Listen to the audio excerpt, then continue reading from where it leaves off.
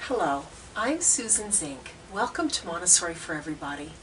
I have been a part of Montessori education in one way or another for over 30 years, and I'm hoping that the love that I have developed for this approach to education is something I can share with you and help you to benefit the children that you work with, that you live with, whether you're a parent or a teacher. I am one of those people who, if something is really, really important to me, I want to understand it better and better. I also want to evaluate it critically. I have looked for ways that Montessori education may be missing the boat, things that might be not the way that they should be, things that need to be updated, and I have been amazed over the last few decades how little there is that I would change from what I've learned from my studies of Dr. Maria Montessori. Over the last few decades, the learning research has validated her approach again and again some of the research that I most enjoyed studying when, when I was uh, in, in college, when I was earning a, a psychology degree, is the work of Carol Dweck. Carol Dweck has studied the way that we think about learning or what we believe about learning and how that affects how effectively we actually do learn. She calls this mindset. There's essentially two different ways that people approach how they learn. One is the is what's called a fixed mindset. The idea that you're smart or you're not, you're good at it or you're not. And this is very, very limiting. When children believe they're good at math, they do better, even if, if there's no other factors that, that would eh, eh, cause you to expect that. And equally so, if children believe they're bad at math, they tend to do poorly and struggle with it. The alternate mindset, the one that Montessori education encourages, enhances, and tends to develop in children, is the idea that the more you work at something or the more energy and attention that you put into it, the better you're going to get. This is validated in the research again and again as being true, but what's even more important is that if you believe that, you're going to put the energy and the attention into learning that you need to get good at something. In the Montessori approach, children are empowered to take charge of their own learning. They're given the materials, they're given the prepared environment that they need to be able to learn things on their own, to be able to choose what they want to learn at different times, so that when their interest is, is giving them energy to learn, they're able to apply that energy to that task right then. They don't have to wait for math time or for geography time or for the specialist to come to do art they get to take that energy that they have and apply it to the task that they want to do right then. When children do this, and especially when they do this repeatedly, they take the addition, the work, the materials to help them learn to add off the shelf again and again and again, they develop not only the ability to add, but they develop a mindset. They develop the attitude that they are learners they develop the attitude that not only are they good at math, they're able to manage their own learning.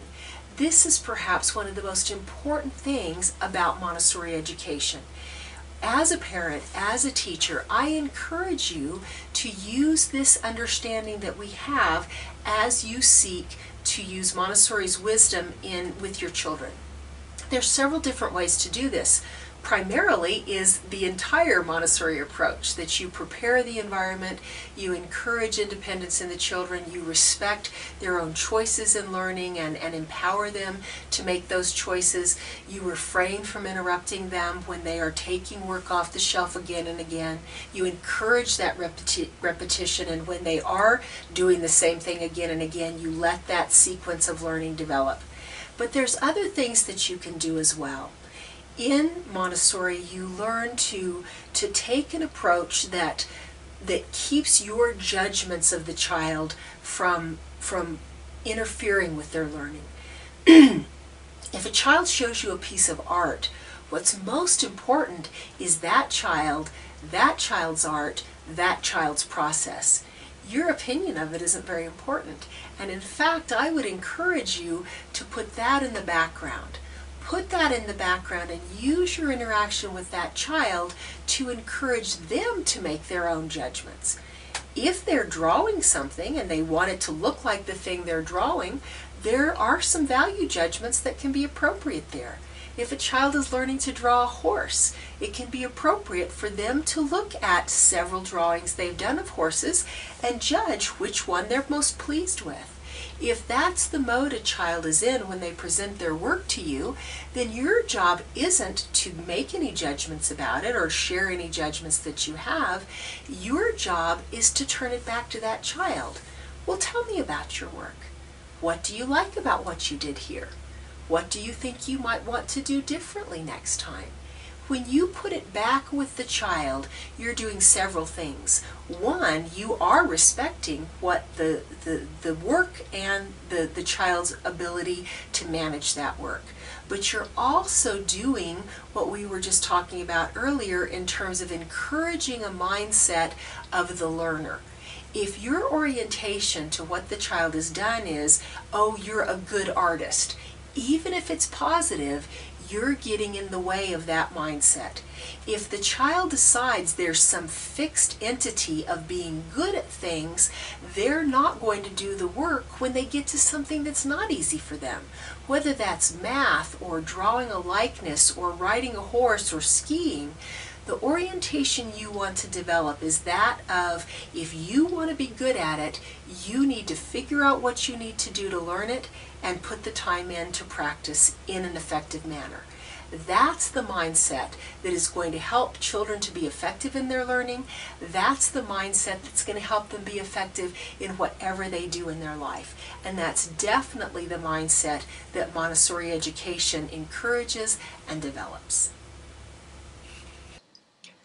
An essential part of the role of the adult in the classroom is to connect the children to the environment, which consists primarily of materials which allow them to educate themselves. This primary function is reflected in the use of the terms guide or, the one I prefer, mentor. This term helps adults remember to be a resource to the children in managing their own learning, not take charge of the learning process. The two basic areas that children start in from the very young age of two and a half or three are the sensorial and the practical life area. The sensorial area is probably the area for which Montessori is most well known. If someone is familiar with Montessori materials, it may be the classic pink tower, it may be the knobbed cylinders that the child matches into the cylinder block for which they're made to go into or the corresponding knobless cylinders. The building toys that children use today are an offshoot of these kinds of materials.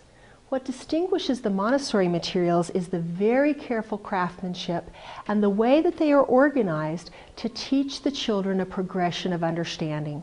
These are the dimensional materials of the sensorial area.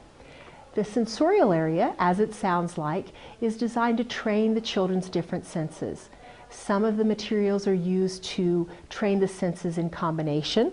The child moves the cylinders as they see them, so it's a combination of movement and visual experience.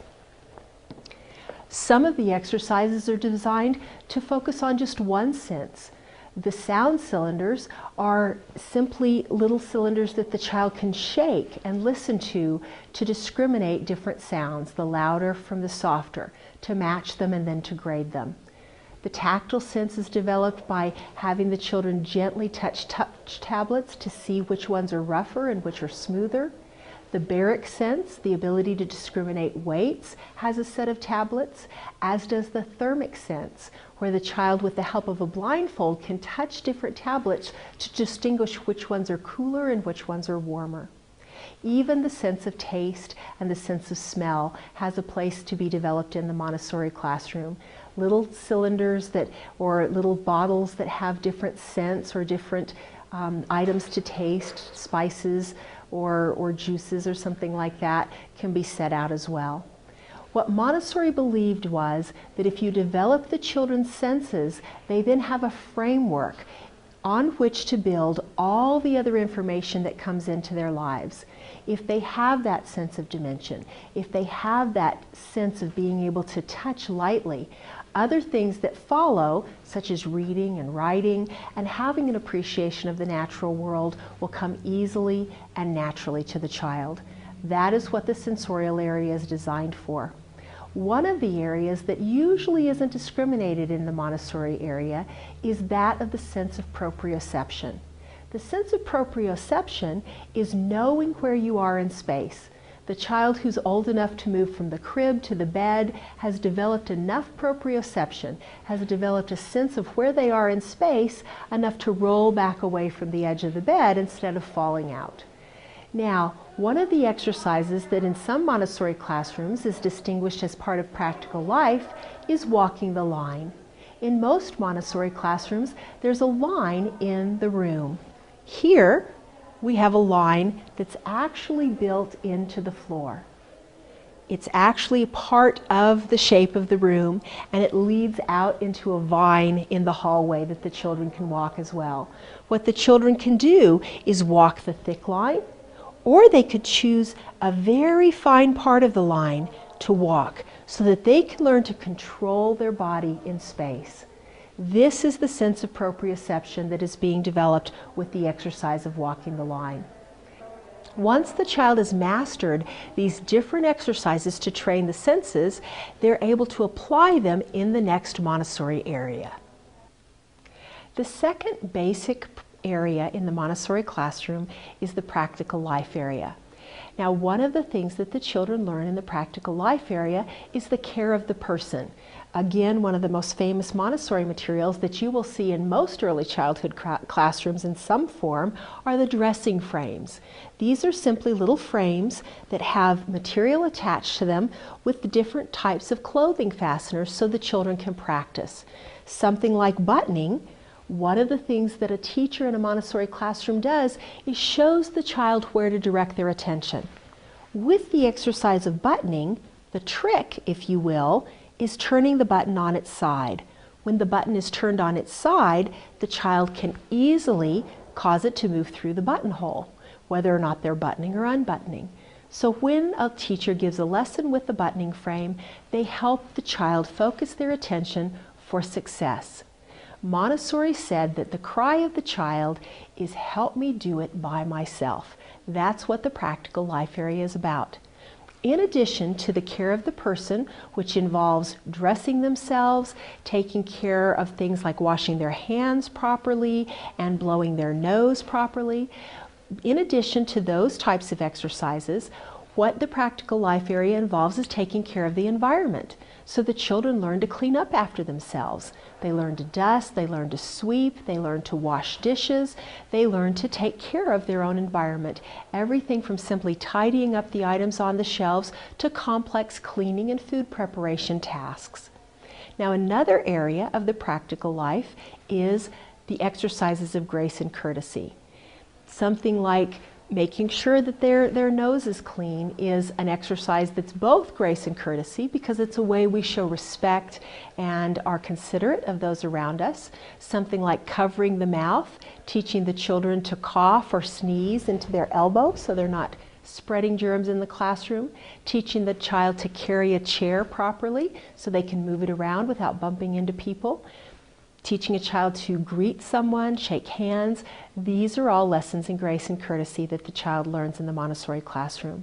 When the child feels independent, when they feel like they can do for themselves, they feel powerful.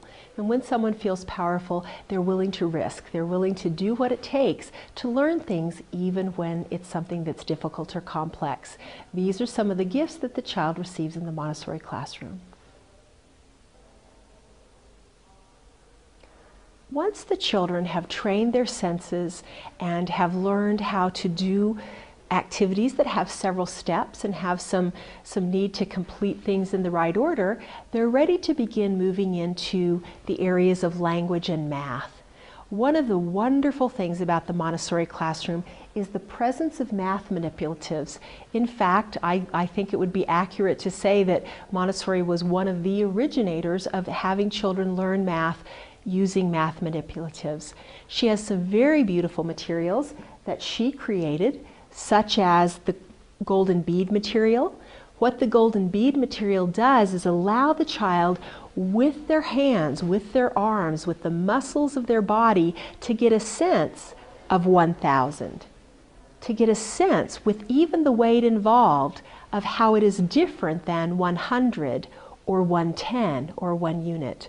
The child can actually hold in their hands a hundred beads, a thousand beads, and learn the geographical relationship from the two of the two without even being told. All they learn is this is 100, this is 1000, at least at the beginning.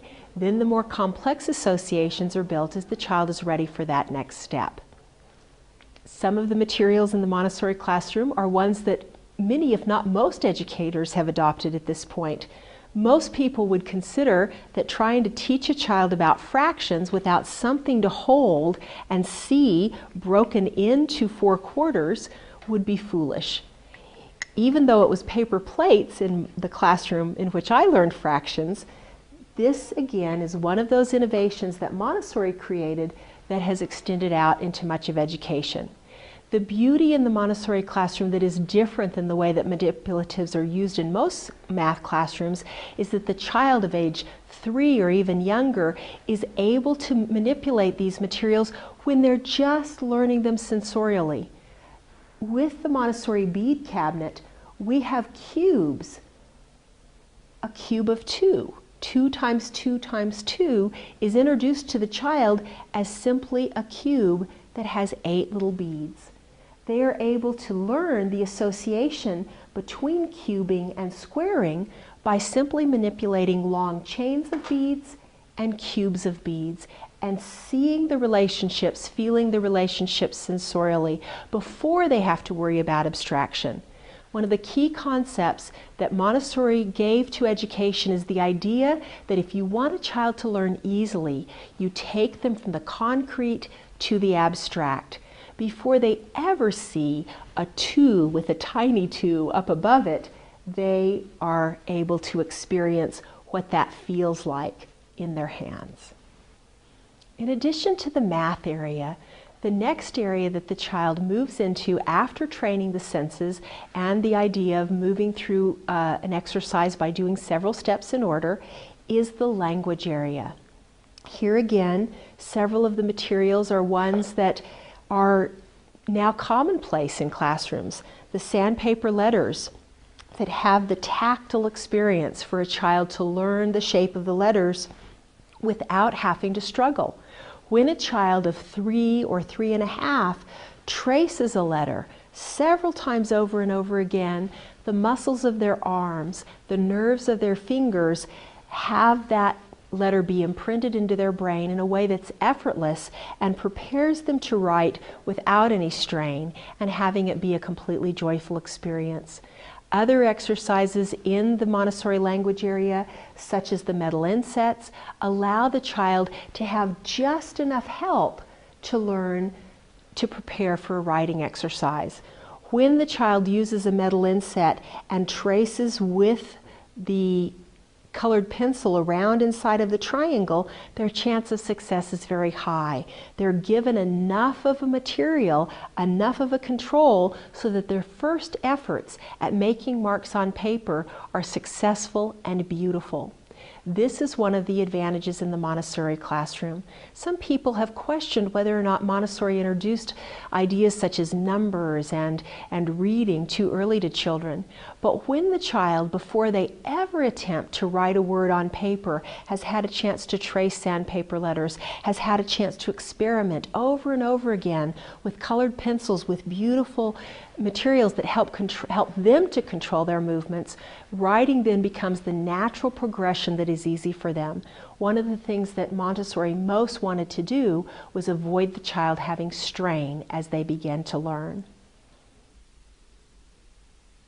The final area in the Montessori classroom is that of the cultural subjects.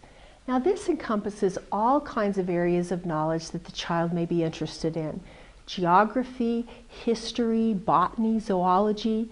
But rather than just looking at books, especially if you're only three, what the child is able to do is be introduced to these areas of knowledge and sometimes even master many of the terms and things that are typically not introduced until high school or college at an early age because of the way that they are represented and the way that they are, are given to the child to learn in a way that's easy for them. These are some exercises or some materials that are used in the teaching of geography. One of the first things that the child learns is just the basic breakdown of our earth the water, land, and I teach also the air or the atmosphere that's around it. That's the basic makeup of the place on which we live. And the child is able to actually touch the globe to feel that difference, to feel where the land is separated from the water, to be able to trace along the different coastlines and get a sensorial experience of the globe on which they live. Once that's mastered, then the child moves on to something a little bit more abstract. The idea that we've given names to different land masses, that the large land mass on which they live is called North America, and perhaps the land that their grandparents came from is called Europe or Africa or Asia. These are concepts that we introduce to the child in a way that they can understand, in a way they can begin to explore with the hand. When subjects are introduced in this way, the child has a chance to learn them effortlessly and to enjoy them right from the very beginning. When we are working on geography, we do our best to keep as much of that concrete involved as we can, having objects from the different continents, objects from the different countries for the children to experience. In addition to the geography area, we do the same thing with history history is presented with a timeline that's laid out on the floor so that the children have a physical representation of time, which is the basis of history. They then can go further into that and understand the different human players that were involved in history, the different eras of the earth, and the historic eras.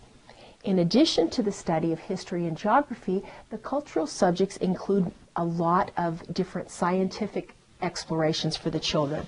Similar to the map puzzles are the puzzles for the study of botany. The parts of the plant, in this case the tree, are puzzle pieces that the child can manipulate as well as learning the names of the stem or the trunk, the leaves, the branches, and the different aspects of the root. We go from very simple puzzles such as this all the way up to more complex materials for botany as well as for zoology. The child can learn the aspects of the mollusks, such as that they their defining characteristics are a soft body and sometimes a hard shell, and then the different parts of the anatomy of the mollusk can be studied in very concrete forms, such as simple um, diagrams that are color coded. The eyes are red in this particular segment, and then the tentacles are coded red here, and an explanation of these different parts of the anatomy are given. Obviously, if you're dealing with a three year old, the words in the book are not going to be what they're going to be focusing on.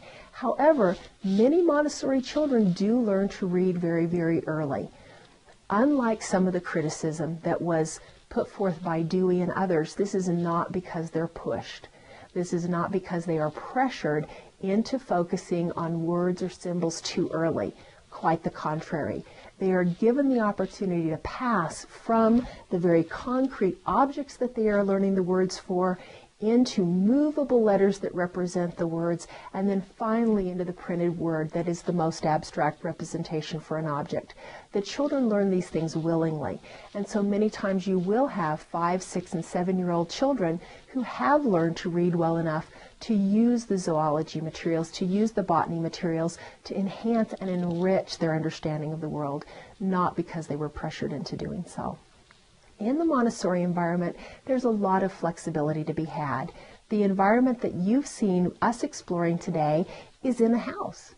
It's an environment that is dedicated to children and is used on a regular basis as a Montessori school, but the space limitations have been worked around as best we can. We have globes that sit on map stands that sit above other geometric materials. Most of these materials are used with the older children, the older pre-primary children, which means the children who are age two and a half or three through age six. The primary age group children or elementary age group children from what is typically in, in a regular school, kindergarten or first grade through third grade, also use the materials. So you'll have a three-year-old simply using the puzzle maps as a puzzle, and you may have a six or a seven-year-old working with them, teaching them the names that that child has already mastered. That is one of the beauties of the Montessori environment, and one of the things that can be included as people bring more of the Montessori education into their homes. If younger children are not taught that their older siblings are a resource, there's something that's being, being lost because of not having that relationship.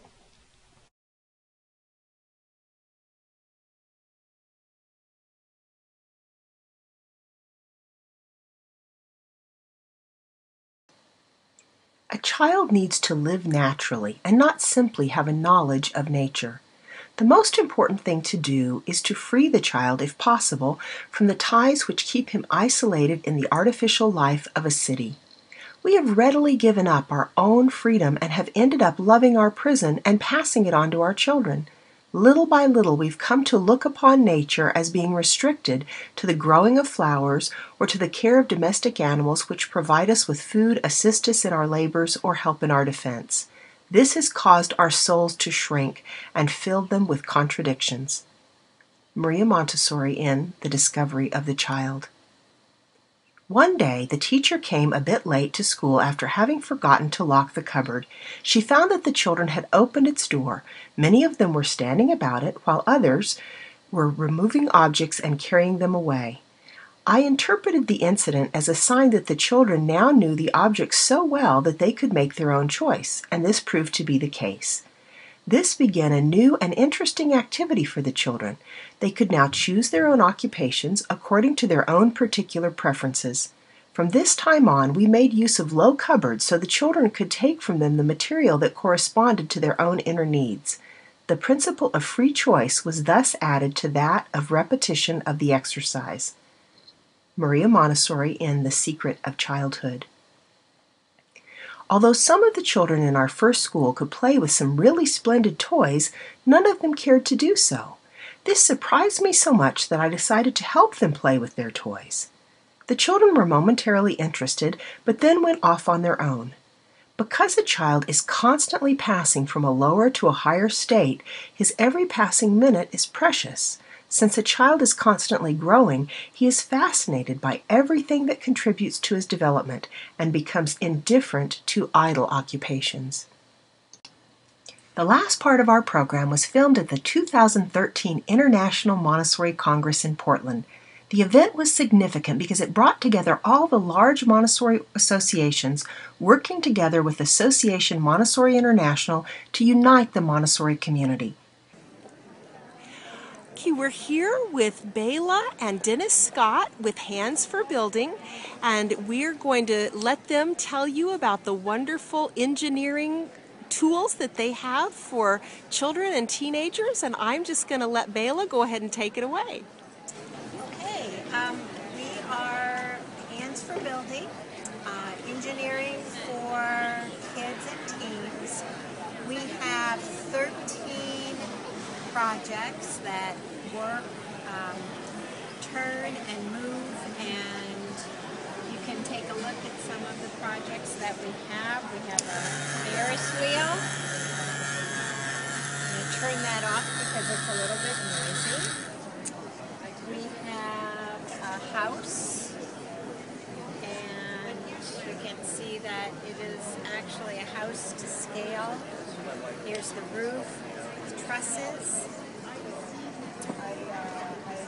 This is our merry-go-round our elevator.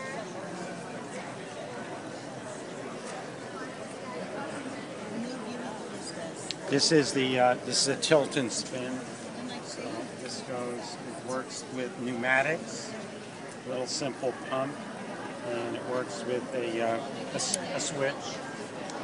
And we are a uh, complete package. We are marketing everything you see here, all the training um, together uh, for teachers and schools. And the way it's done is we have engineering drawings for everything, all 13 uh, projects.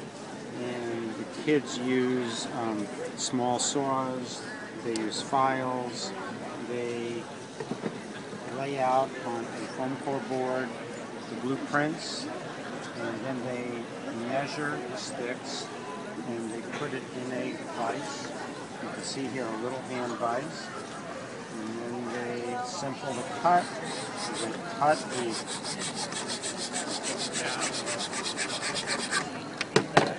wood and they put it on the plan and they slowly construct it. Uh, they use a, a specialty white glue, um, little triangles, and put it together.